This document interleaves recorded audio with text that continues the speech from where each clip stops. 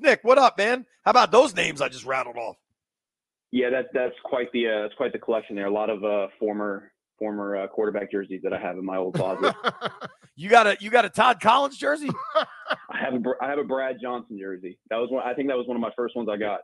That's not a bad one, dude. I mean, not to over analyze something that happened 25 years ago, but Snyder's insistence on running Brad Johnson out of town to let Jeff George get a crack at things really should have been uh, letting us know well what direction Jeff, this thing was headed. Brad Johnson did yeah. go on and win the Super Bowl, though. I know, I know. Um, all right, Nick. So we are three games into the Jayden Daniels era. Obviously, he wrote a uh, he he changed the script with his performance Monday night. Um, where are you at as eye test analytics test? Yeah, I'm I'm extremely kind of pleased with where we are through three weeks.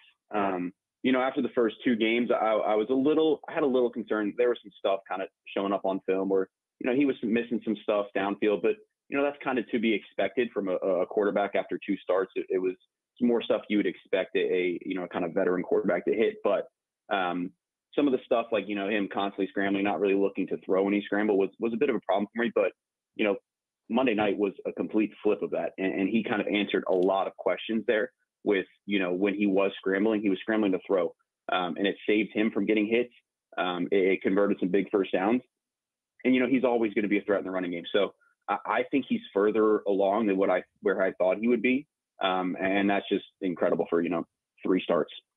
it, it really is wild. And we just played some Aaron Rodgers audio from his weekly McAfee session. And the thing I've been preaching throughout this process is I really think Daniels is a pocket passer. he beats you from the pocket, and it just so happens to be he can break break you off, break off an 80 yard run too. yeah. Um, Rodgers talked about how, how, he won in Cincinnati from the pocket. I think there's more of that to come. I, I'm curious what your research and, and analysis shows. Yeah, no, I mean, I mean, at LSU, he he was. I mean, obviously, we saw the game breaking speed at LSU, but he wanted to win within the pocket, and I think his best plays were were the deep balls, and that's what he was great at at LSU. Um, and you see it sometimes, and it kind of led to some of the high sack numbers that he did want to win within the pocket, maybe a little bit, you know, too much.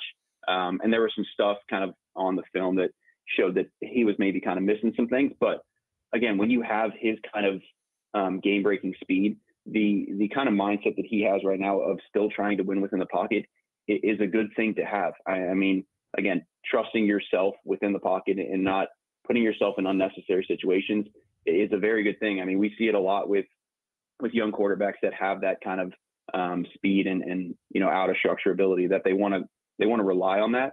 Um, and, and Jayden through three games has not really relied on that as much, uh, especially on Monday night. He he was looking to when it did break down and he did have to get out of the pocket, he was still looking to throw, um, and that's a huge step forward.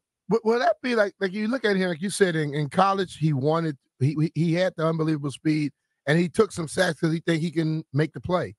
Will that be like situational, getting certain games where you know you can get around the edge, or other games you you fear you can't, where you sit in the pocket. The other time you may take off a little bit. Yeah, I mean, I think it's a it's a thing that he's going to have to kind of learn through experience, and we're going to see some. I mean, we saw some sacks and bad sacks that he took in, in the first two weeks, where you know he thinks he can get around some stuff, and some annoying ones where he doesn't throw it away and, and loses a couple yards. But um, it, it's all kind of a, a, learning experience right now. Um, and in college, obviously, it, it's a lot easier for him to, you know, break, contain, and, and you know, force missed tackles in the backfield, downfield. Um, so it's all kind of a learning experience right now. And you know, the fact that he's not relying on, you know, constantly just kind of putting his head down, looking to run. Um, is, is a huge sign for me and one I was not expecting three weeks in. Nick, let me ask you this question. So uh, we a lot of times we always say the guy's going to learn. What's the optimal time for a rookie guy to begin to hit get those things hit? Is it sometime during the first year, or do they have to be in the second, third year where they, the light bulb kind of goes off? Yeah, I mean, it's obviously different for every single one. And, and CJ Stroud last year was, was obviously the exception, where he just kind of hit the ground running um, right away and looked like the, the legit guy there. Um, usually you kind of see it towards the, the tail end um, of, of, their rookie season. And then obviously in the second year, if they kind of haven't if they're in the same offense. If they don't really have it kind of figured out by then, you can kind of you can kind of tell. But you know, usually kind of midway towards the end of the season, you can really sort of see things start to click where you know they're seeing the same concepts against the same coverage, and whether you know they missed that in the first couple weeks, they're hitting it now. That's kind of the things that I'm looking for, and you usually sort of see it from these young guys, um, kind of middle of the season, later towards the, the end of the year. Okay. Talking with Nick Akridge here for Pro Football Focus. Of course, Pro Football Focus has got you covered all season long with the best data, tools, and analysis in the game. Sign up for PFF Plus today to unlock all their famous player grades and premium stats. Plus, if you're looking for fantasy tools, they got you award winning rankings from fantasy expert Nathan Jahnke. Listen, check out PFF Plus, check out PFF. Obviously, I mean, PFF is is part of the national football discourse at, at this point. Um, let's ask this, Nick, because I know the analytical community, by and large, wasn't too high on Cliff Kingsbury's offense, kind of, especially going back to the Cardinals days. Um, uh, you know, a lot of offenses these days are kind of predicated on motion. Not a ton of it with Cliff, although I, I felt like I haven't tra- I haven't charted it yet, but I felt like we saw more against Cincy. What do you think of the way Cliff's calling this thing through three games?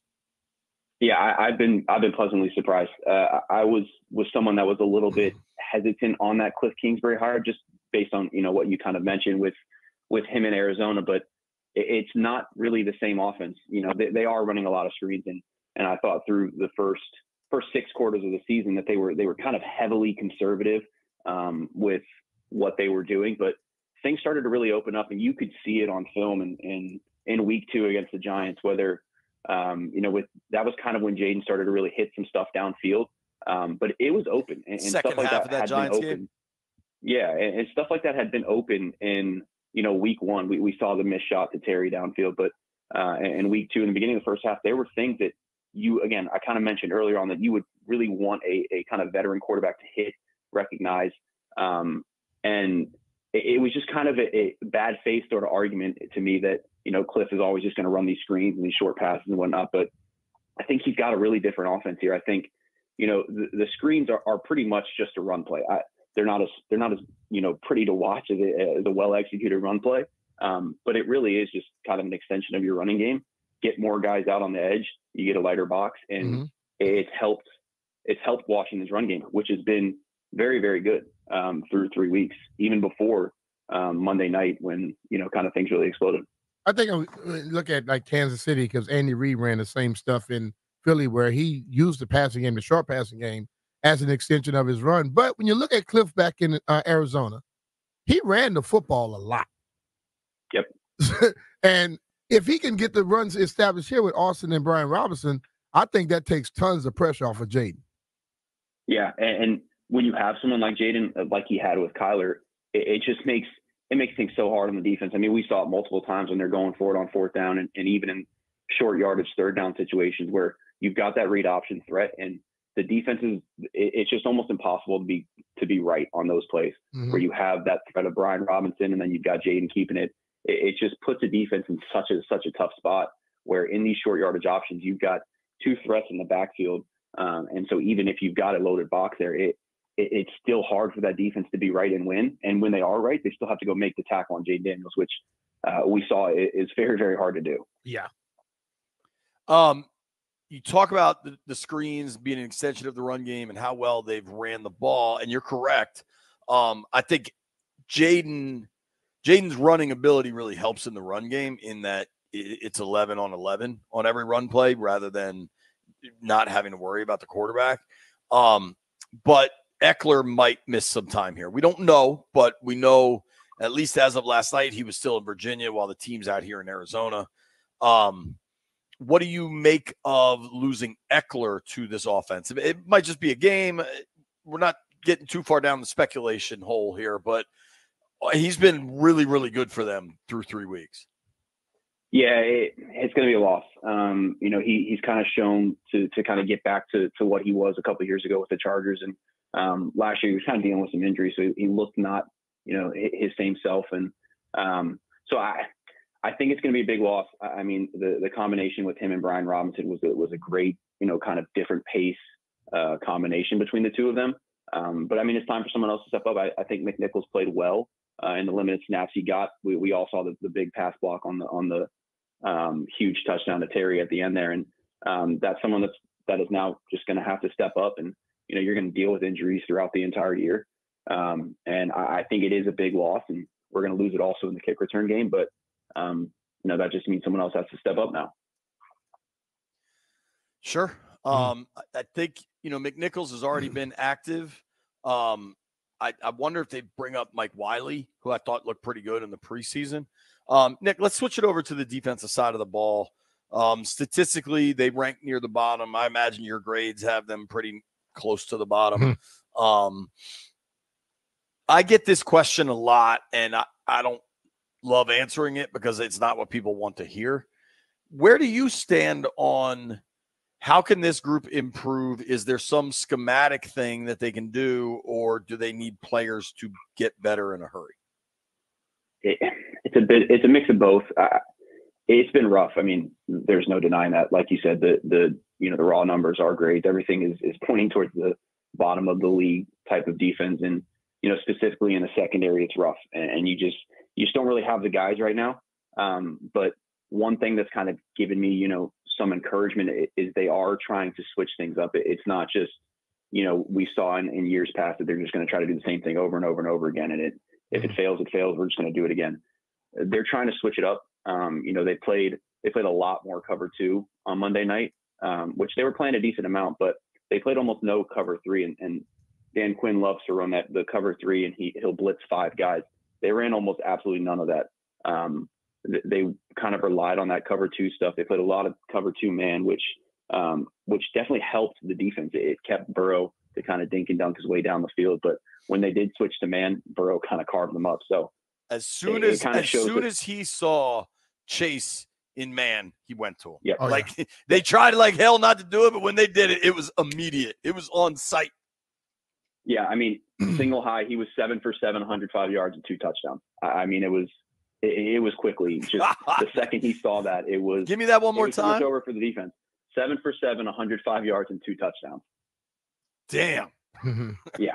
Um, this so question. They're, they're, trying to switch it up. I mean, they're trying, and and again, it's it didn't work, but they are trying to switch it up. They're trying to do things that are, are putting their their players in, in less vulnerable positions.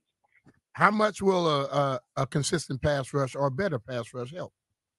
I it, it would help massively. And you know, you're kind of looking at. We all kind of knew that edge rusher was was definitely going to take a step back. Um, obviously, from from last year with losing Sweat and and Young, but eh, you're going to need more from some guys there. It's a rotational unit right now, but no one's really kind of stepped up there. And and then you know, interior, uh, it, has been rough for for Payne and Allen trying to get pressures.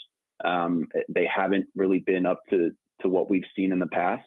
Um, and so yeah, you, if you have a bad secondary, you, you can't have a bad pass rush as well. It's just a recipe for disaster. Mm-hmm. That's you know that's a really well way to frame that because that Brian and I, but B, you've been saying this for a while now that like everybody loves to dunk on the secondary. Yeah. But when you're not getting any pressure, what the hell is the secondary supposed to do? But Nick, I like the way you frame that. Like, if one of the two groups is bad, it's bad. But if both are bad, you're in big trouble. Both the bad um, is atrocious. Dude, there was a. yeah. I'm sure you've already charted. I just haven't had time because I've been living in airports for 24 hours. Um, there was a play in the second half against the Bengals where they sent six, and Burrow didn't even have to move off his spot. Like yeah. on, on some level, you're talking about them switching around coverages, and and and I think they really listen, if the three of us donks are, we'll, we'll, exclude Brian. Nick, if you and I, and we are just donks that are watching tape, right? If we can identify what they should avoid with Ja'Marr Chase, it's not like Dan Quinn and Joe Whitt aren't aware of that, right? Like they know to try to stay out of man coverage on that dude. Um, but still, sometimes just motion and everything dictates it. But if you can't get home sending six, if you can't even really impact the play, hmm. you kind of got no shot. Yeah.